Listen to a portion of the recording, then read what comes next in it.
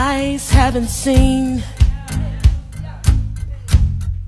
and ears haven't heard the kind of blessings, the kind of blessings that's about to fall on me.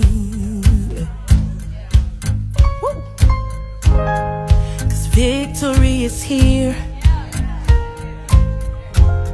Kick defeat out the door. God's doing a new